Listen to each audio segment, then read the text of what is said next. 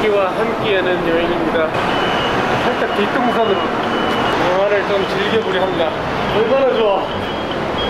지금 저희가 갈 곳이 101 타워입니다.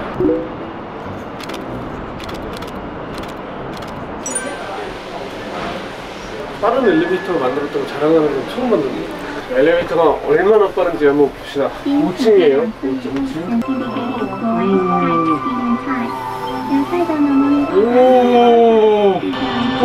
오 고막이 고막이 막 눅눅해 뭐야?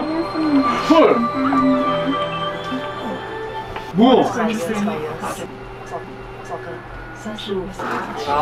10초 만에 89층까지 올라왔어.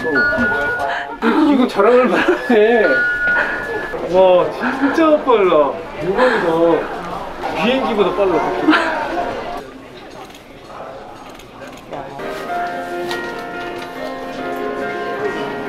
어, 저거 보여. 저거 어, 빨간 저기 빨간 건물 보여. 고속도로 타고 가다가 보기만 했지. 저건 뭘까?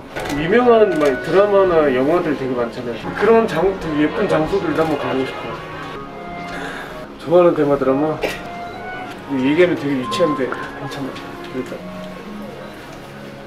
꽃보다한테.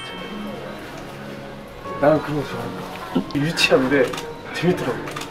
너무 좋았어요. 오늘 얼마나 하래요. 이제 다시 호텔로 들어가서 오늘 매체 인터뷰들 많으니까 인사드릴게요. 어, 시간.